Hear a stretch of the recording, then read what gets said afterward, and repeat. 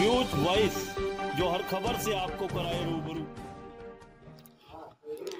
रेवाड़ी जिला की बाबल विधानसभा सीट से दो बार किस्मत आजमा चुके जेजेपी नेता श्याम सुंदर सभरपाल ने तीसरी बार अपनी जीत सुनिश्चित करने के लिए पूरी ताकत झोंक दी है।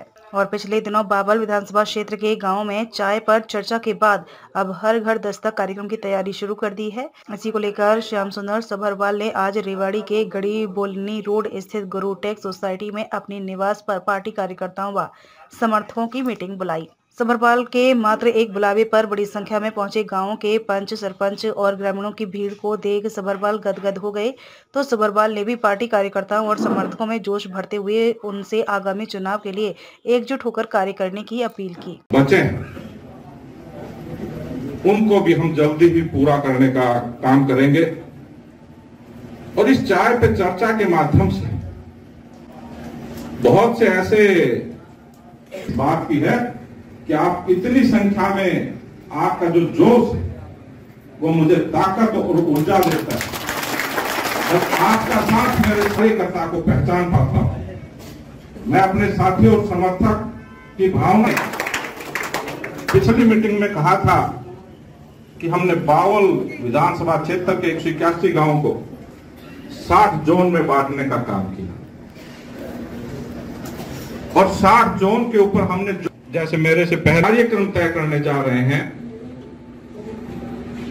श्याम सुंदर सबरवाल का बावल विधानसभा क्षेत्र के हर घर दस्तक का कार्यक्रम जल्द ही शुरू किया जाएगा और उसके माध्यम से हर गाँव और हर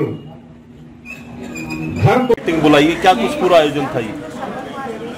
हमने पिछली मीटिंग में चाय की चर्चा का कार्यक्रम रखा। तो बाढ़ विधानसभा क्षेत्र के एक सौ में हमने चाय की चर्चा के कार्यक्रम पूरे कर लिए। अब इसके बाद आगे के प्रोग्राम की रूपरेखा तय करने के लिए लोकसभा चुनाव की चर्चा को लेकर तो होली का पावन पर्व होली भाईचारे का त्यौहार है रंगों का त्यौहार है उसकी मुबारकबाद और शुभकामनाएँ देने के लिए हमने मातृशक्ति और अपने युवा साथियों बुज़ुर्गों को बुलाया था। एक छोटा सा संदेश हमने दो दिन पहले ही तय किया छोटा सा संदेश दिया था और इनके जो जोश और जुनून ने इसको एक बड़े कार्यक्रम में तब्दील करने का चाय पर चर्चा पूरी हुई अगला क्या कार्यक्रम रहेगा? चाय पे चर्चा में जो जोश जो प्यार और प्रेम देखने को मिला, वो काबिल